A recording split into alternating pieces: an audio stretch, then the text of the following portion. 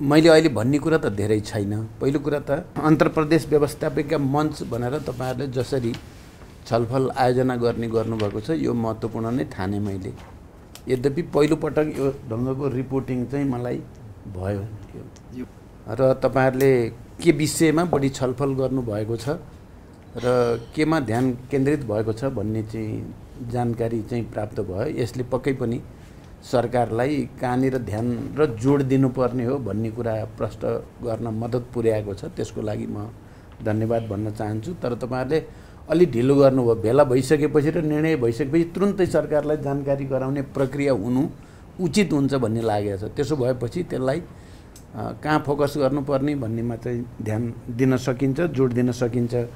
अब मैले सरकार र चाहिँ प्रतिनिधि सभा या राष्ट्रिय सभा या प्रदेशहरूको सन्दर्भमा पनि सहजीकरण गर्ने मेरो तर्फबाट त मैले पहिला पनि कोसिस गरेँ। तपाईँहरूको यो भेला भएर निर्णय गरेर घोषणाहरू चाहिँ को बारेमा औपचारिक जानकारी नहुँदा पनि सामान्य सभामुखजी र राष्ट्रिय सभाका त्यति बेलाका सामान्य अध्यक्षसँग मेरो पटक पटक यी समस्याहरूको बारेमा त्यति बेला चाहिँ यो वित्तसँग सम्बन्धित आर्थिकसँग सम्बन्धित समस्या पनि संरचनागत समस्या पनि कर्मचारीको समस्याको बारेमा पनि छलफल गरेर सहजीकरण गर्ने कोसिस चाहिँ भइराखेकै थियो।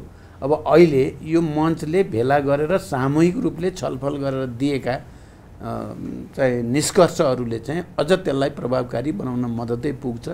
सरकारको तर्फबाट म तपाईँहरू सबैलाई यही विश्वास दिलाउन चाहन्छु कि यी निष्कर्षहरूलाई गम्भीरतापूर्वक लिइनेछ र अधिकतम कार्यान्वयनको निम्ति पहल गरिनेछ। अहिलेको राजनैतिक सन्दर्भमा दुईवटा प्रवृत्तिहरू एउटा त सङ्घीय लोकतान्त्रिक गणतन्त्रलाई अझ सुदृढ गरेर लाने विद्यमान संविधानलाई अझै परिमार्जन परिष्कृत गर्दै अगाडि जाने भन्ने एउटा ट्रेन छ।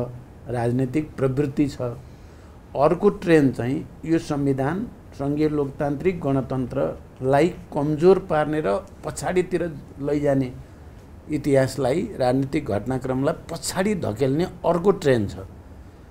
यो दुईवटा प्रवृत्तिको बिचमा चाहिँ कहिले खुला चाहिँ खालले पनि बहस हुने गरेछ कहिले विभिन्न रूपमा चाहिँ त्यो चलिराखेकै छ।